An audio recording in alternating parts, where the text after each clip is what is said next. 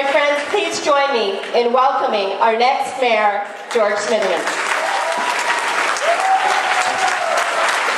Waheguru Ji Ka Khalsa, Waheguru Ji Ki.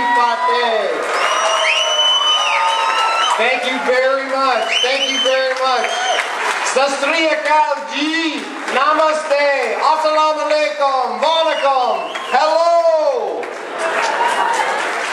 To say in the presence of uh, many uh, from uh, who trace their roots to Punjab that I have been privileged to participate in uh, Khalsa Day Parade on many occasions. And on their very few occasions have I enjoyed a greater privilege than when I did have a turban tied for one of those walks. And I want to let you know that Rob Ford thinks that the streets are made only for cars. And I want to let you know that even though I am the son of a truck driver, I think it's appropriate that on certain days we push aside the cars and we allow the feet of the people to be on the streets to do marathons and to celebrate things like Khalsa Day. And as a mayor, I will always invite you to do that. And I close by saying to all of you, you have responded so positively to the use, uh, to my recognition of Harpreet Hansra. You know what is inside of him, the passion that he has for his community, the work that has been done there. Uh, as an example, just last Friday night, when downtown Toronto, in the riding that I represented at 200 Wellesley Street, a fire did make homeless 1,500 people. And at least one of them is in this room tonight.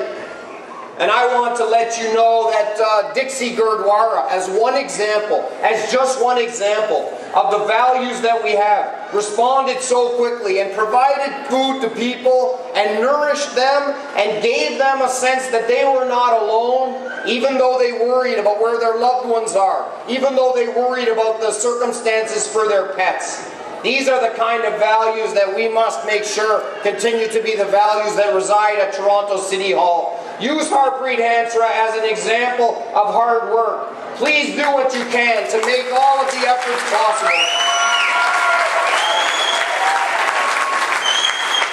And I know for sure, and I know for sure that if each and every one of you maximizes your full potential, reaches out to the people that you know, uses the power that you have, that on October 25th we will celebrate.